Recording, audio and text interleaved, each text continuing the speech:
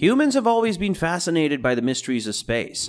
Humankind has an insatiable need to learn new things, understand the truth behind myths and stories, and push themselves to new heights to unravel the enigma of outer space.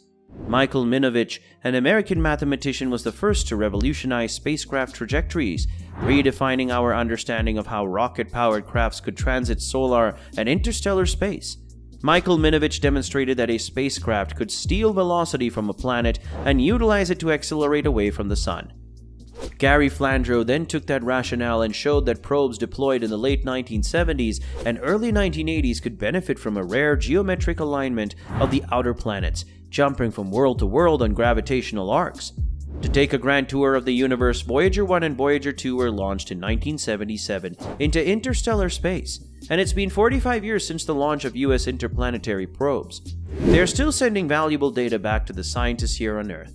The Voyager program consisted of two spacecrafts, Voyager 1 and Voyager 2. Voyager 2 was launched first in August 1977, but Voyager 1 was sent on a faster trajectory when it was launched about two weeks later.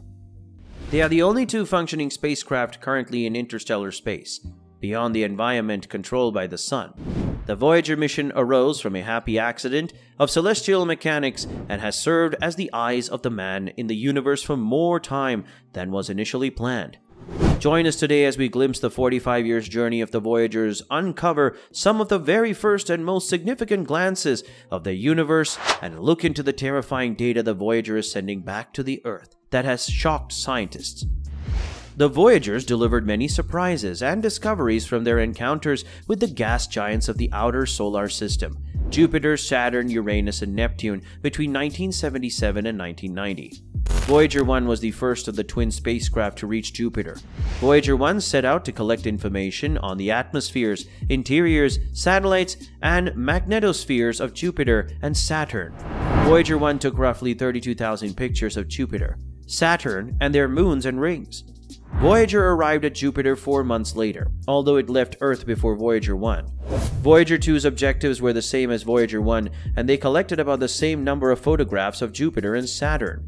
While the Voyagers were hurling around Jupiter, they revealed its distinctive red spot and showed how large hurricanes the size of Earth wreaked havoc on the planet's surface. Although astronomers had studied Jupiter from Earth for several centuries, scientists were surprised by many of Voyager 1 and 2's findings.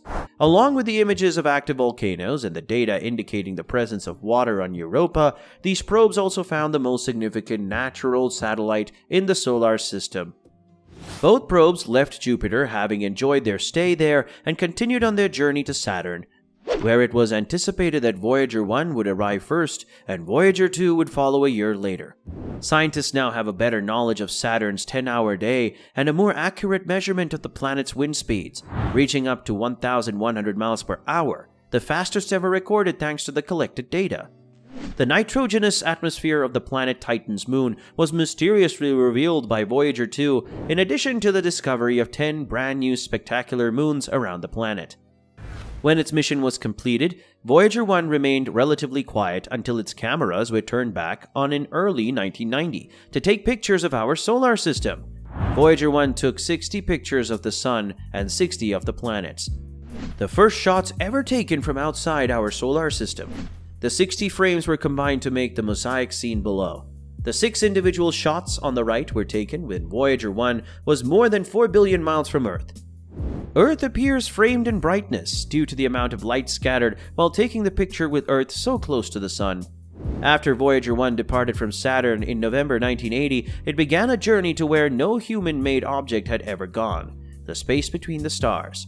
On August 25, 2012, it crossed into interstellar space, leaving behind the heliosphere, the enormous magnetic bubble encompassing our Sun, planets, and solar wind. Voyager 2 set course for interstellar space after departing from Neptune in August 1989 and is expected to enter interstellar space in the next few years. NASA's Voyager 1 is continuing its journey beyond our solar system 45 years after its launch, but the veteran spacecraft is sending strange data. Experts believe that after 45 years in orbit, both Voyagers use barely 50% of the power they initially used. Looking at the latest data, Voyager 1 seems to encounter a strange glitch. With 50% of its power remaining, Voyager 1 is currently 14.3 billion miles from Earth. Therefore, the data is anticipated to be returned significantly slower than previously. In May, NASA reported that the Voyager 1 space probe sent back jumbled and inaccurate telemetry data.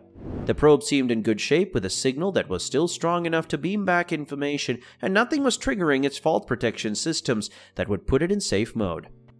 NASA has stated that while the probe is still operating properly, readouts from its Attitude Articulation and Control System, AACS for short, don't seem to match the spacecraft's movement and orientation, suggesting the craft is confused about its location in space. The AACS is essential for Voyager to send NASA data about its surrounding interstellar environment, as it keeps the craft's antenna pointing right at our planet.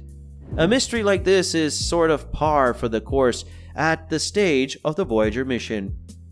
Suzanne Dodd, a project manager for Voyager 1 and 2 at NASA's Jet Propulsion Laboratory, said in a statement The spacecraft is almost 45 years old, far beyond what the mission planners anticipated. Beyond predictions, Voyager 1 has maintained operating and is still sending data about its return trip to Earth. In 2012, the pioneering spacecraft departed our solar system and blasted off toward interstellar space. The most distant object created by humans is currently 14.5 billion kilometers from Earth. According to what NASA's engineers can discern, Voyager 1's AACS generates data at random that does not represent what's happening on board, according to NASA. But even if system data suggests otherwise, the spacecraft's antenna seems to be appropriately aligned. It is receiving and executing commands from NASA and sending data back to Earth. It said that the system issue hadn't triggered the aging spacecraft to go into safe mode, during which it carries out only essential operations. Until the nature of the issue is better understood, the team cannot anticipate whether this might affect how long the spacecraft can collect and transmit science data, NASA said. Voyager 1 and 2 are almost 45 years old, far beyond their original life expectancy. She said interstellar space is a high radiation environment in which no spacecraft has ever flown, so surprises are almost expected to arise.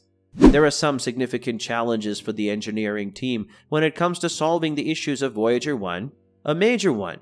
It takes light 20 hours and 33 minutes to get to Voyager's current interstellar location, so a round trip message between the space agency and Voyager takes two days. But engineers are optimistic about solving the issues with Voyager through telemetry or some other method. After receiving trash data for months, without apparent means to fix the probe, Voyager 1 suddenly returned clean telemetry data. It was later found that the probe started using a dead computer's command to send data to Earth. Fortunately, no onboard fault protection system has been activated due to the NASA Voyager 1 problem. The technology is intended to keep the spacecraft in a safe mode, which maintains a state where only necessary operations are performed, while providing engineers with time to investigate and fix the problem. Additionally, it appears that the high gain antenna is still pointed in its intended direction towards Earth because neither the signals from Voyager 1 nor any other spacecraft has weakened. Even though the Voyager 1 is presently operational, it is unclear what caused this space probe to connect with a corrupted onboard computer. Were those unknown high energy radiations or other forms of space life attempting to infiltrate the cosmos like us?